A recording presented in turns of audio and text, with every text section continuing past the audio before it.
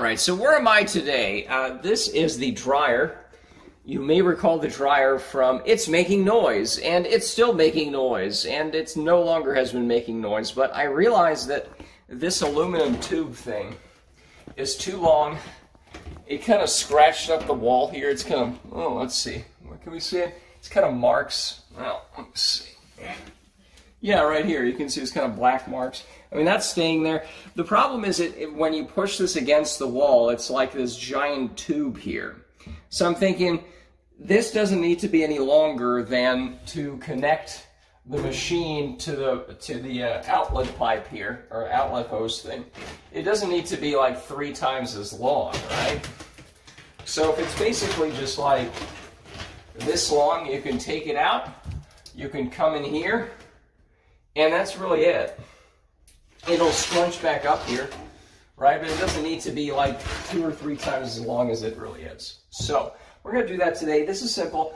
Another fun thing is the outside, there's a little vent cap. It's louvered, right? But mine fell off and blah, blah, blah. I actually, that was the easiest fix. I did that yesterday. I took it off, put the new one on, no screws, no caulking even. It just snapped perfectly in there. That was very simple. But I thought, well, that's pretty simple. This should be probably very simple. So let's try, okay? Let's see if we can well, there's a lot of, uh, oh, that's not good. Because of, of the, uh, well, let's see here. So we're going to measure this out. I'll give it a little bit extra here. We can always take a little more off. So,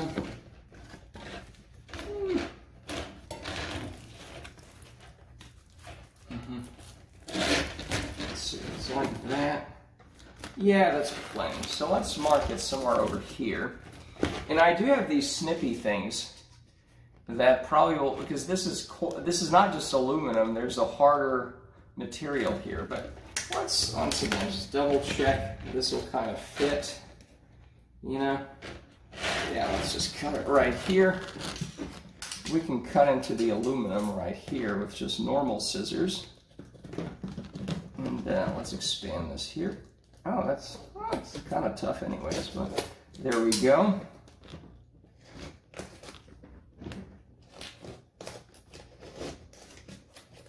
Snip, snip, snip.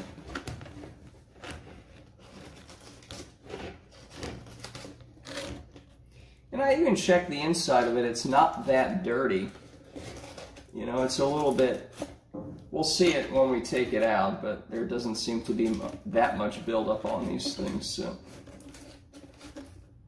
All right, so let's snip this right here. One, two, and Okay. Was there a snip there? Almost. One, two, and there we go. Perfect. Normal scissors are just not going to do that, so so look at that.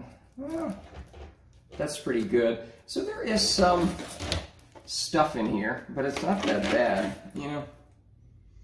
It's not coated in it, so it's really not a fire hazard and especially now that, that it's less, right, this should, no, this is perfect, this is a good height. Now, this is the tricky part. You can use, I can use this kind of, what is this, flex fix thing. It's for, yeah, it's especially for this. It's used on this side here because it's just the same size. You have to tape it. There's a mechanism here where you have this ring. Now, well, I remember last time it was very difficult to put this on.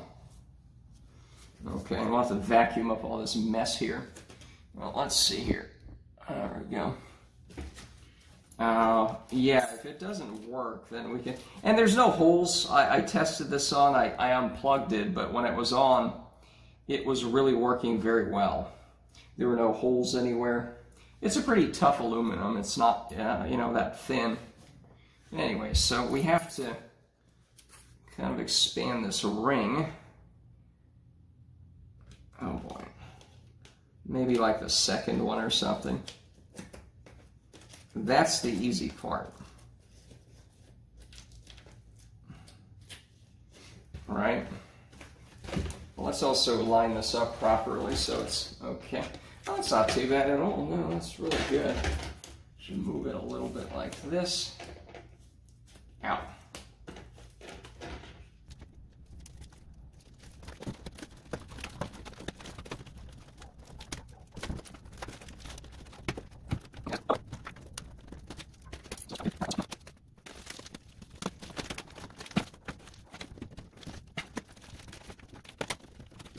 Okay, well that's hopefully good.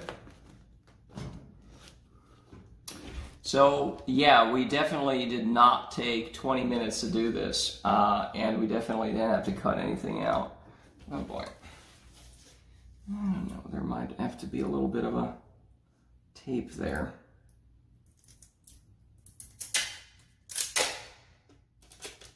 Hmm.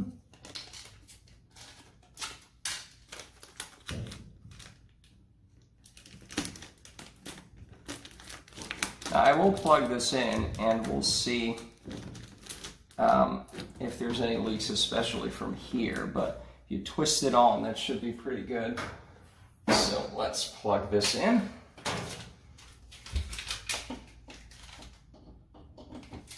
Alright. And let's set it to fluff, no heat. And we'll be able to see. There we go, that, that should, oh, perfect. Very good.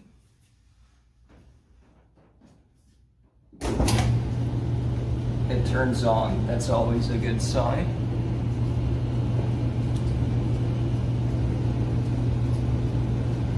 I'm not feeling any air, which is very good.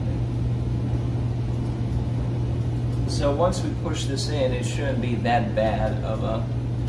It has a little bit of a give here, right? but it's considerably shorter. It's about half as long. Now it gets a little bigger when it uh, when you're blowing air in it, but I'm not feeling anything, and there's lots of uh, things there. Yeah.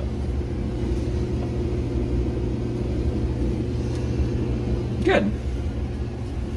And that has held very strong there. well, I think that's it. We'll clean this up and uh, yeah,